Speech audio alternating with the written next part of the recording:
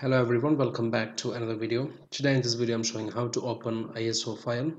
There are different ways how we can um, open the iso file. But for me um, i prefer software um, which is which can extract the iso file. So we just need to download the 7-zip software you can go to 7-zip.org or you can just google the website and download your um, corresponding version of software. I'm sorry. I'm using a 64-bit computer so download a 64-bit uh, setup file. Just download it and install. Close it's like taking only like half minutes to download and install or one minute maximum so um, here I have number of ISO files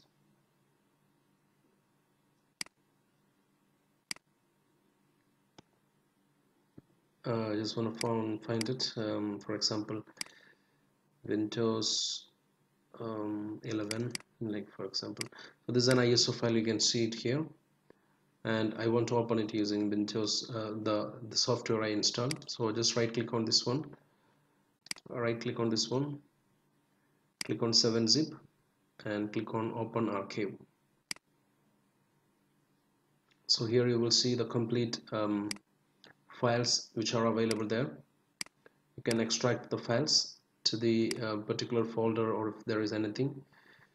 Um, we can even create a particular folder and extract completely all the files to the um, uh, particular folder so that you will be able to uh, see what is inside. And even you can uh, directly open the content inside by clicking like this.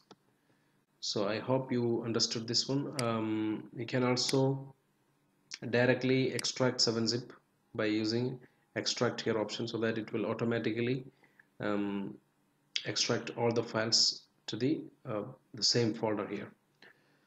So thank you for watching guys.